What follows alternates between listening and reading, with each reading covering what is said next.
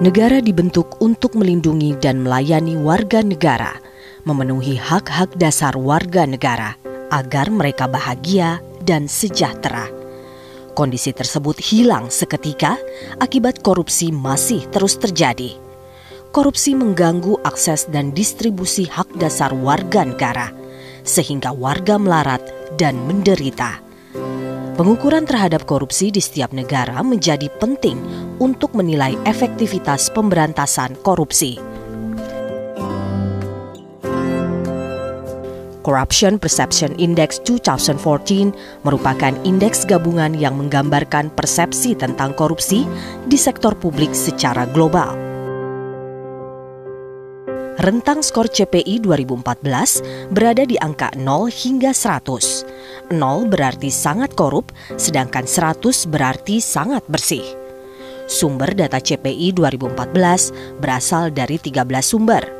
Bertelsmann Foundation Transformation Index, Economist Intelligence Unit Country Risk Ratings, Global Insight Country Risk Ratings, IMD World Competitiveness Yearbook, Political and Economic Risk Consultancy Asian Intelligence, African Development Bank Governance Rating, Bertelsmann Foundation Sustainable Governance Indicators, Political Risk Services International Country Risk Guide, Transparency International Bribe Payer Survey, World Economic Forum Executive Opinion Survey, World Justice Project Rule of Law Index.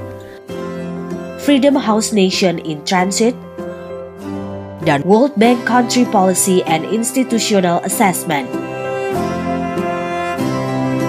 Gambaran umum korupsi di dunia, 68% negara di dunia memiliki skor CPI di bawah rata. Negara dengan skor CPI tertinggi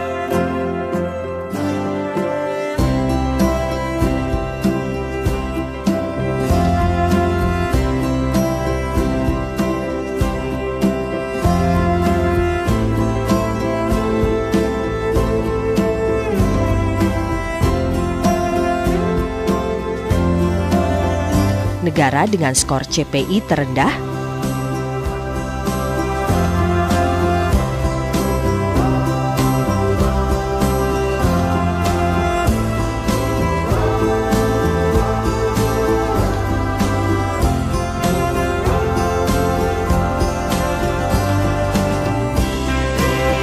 Skor CPI negara di Asia Tenggara